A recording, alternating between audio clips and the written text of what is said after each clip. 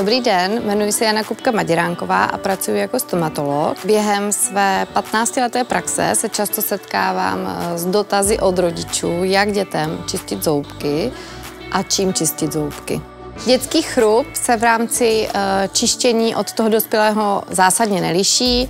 My stomatologové jsme obecně velmi rádi, že vůbec děti čistí. Pro děti rozlišujeme uh, zubní kartáčky a zubní pasty, jim určené. Obecně na kartáčku je strašně důležitý pro děti, aby měl malou hlavičku, rovnej zástřih vláken a ty vlákna byly co nejměkčí.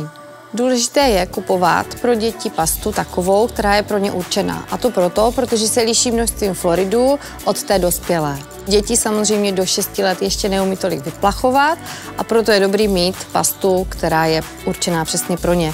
Pak už záleží na každém dítěti, jakou má rád příchuť a co si vybere. Do 6 let zoubky čistí rodiče a od 6 let zoubky dočišťují. Nemusíme se úplně stresovat, pod jakým úhlem kartáček držíme, ale obecně my jako stomatologové říkáme a já jako máma doporučuji, čistit e, zoubky krouživým pohybem, říkáme tomu taky technika malování sluníček.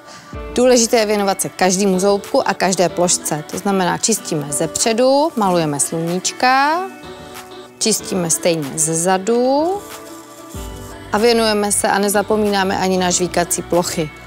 Ty čistíme vodorovně. Důležité je zapamatovat si, že zoubky čistíme dvakrát denně, ráno a večer, ideálně dvě minuty. A k tomu, abychom si ty dvě minutky mohli změřit, existují i pomůcky, třeba ve formě přesýpacích hodin. Zubní kás je nejčastější infekční onemocnění. Denně svým pacientům říkám, že čistý a zdravý zub se neskazí. U dětí není úplně tak důležité vybírat mezi zubní kartáčky, dentální nítě nebo jiné pomůcky. U dětí je opravdu nejdůležitější vybrat kvalitní zubní pastu a dobrý zubní kartáček.